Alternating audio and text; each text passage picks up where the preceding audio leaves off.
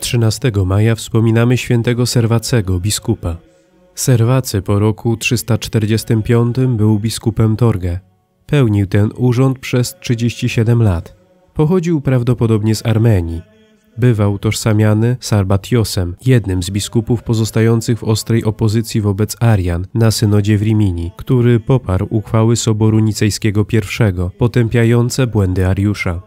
Miał gościć świętego Atanazego, wygnanego ze swojej biskupiej stolicy przez Arian.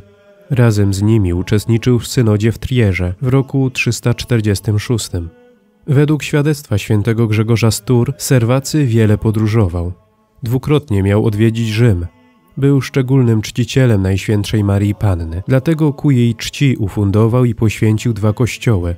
Zmarł w Maastricht, prawdopodobnie 13 maja 384 roku. Zaraz po śmierci Serwacy zaczął odbierać cześć od wiernych. Wystawiono także najpierw na jego grobie kaplicę, a potem kościół. Kiedy zniszczyli go Normanowie w roku 881, został jeszcze piękniej odbudowany w roku 1039. Wśród znakomitych osób, które pielgrzymowały do grobu świętego Serwacego, byli cesarz Karol Wielki, Henryk III i Maksymian, a także święty Bernard, święty Norbert i wielu innych. Świętego Serwacego brali za swojego patrona hutnicy, stolarze oraz uprawiający winorośl.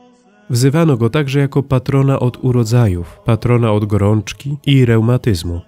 Jest jednym z orędowników podczas przymrozków. W ludowej tradycji święty Serwacy jest jednym z zimnych ogrodników razem ze świętym Pankracem i świętym Bonifacym.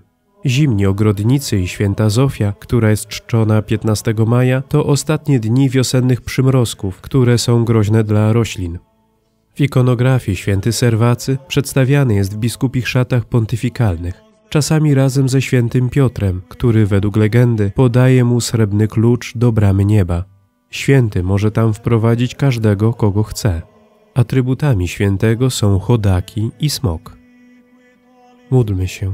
Boże, Ty włączyłeś do grona świętych pasterzy, świętego Serwacego, odznaczającego się wiarą, która zwycięża świat i gorącą miłością ku Tobie. Spraw za Jego wstawiennictwem, abyśmy trwając wierze i miłości zasłużyli na udział w Jego chwale, przez naszego Pana Jezusa Chrystusa, Twojego Syna, który z Tobą żyje i króluje w jedności Ducha Świętego, Bóg przez wszystkie wieki wieków. Amen.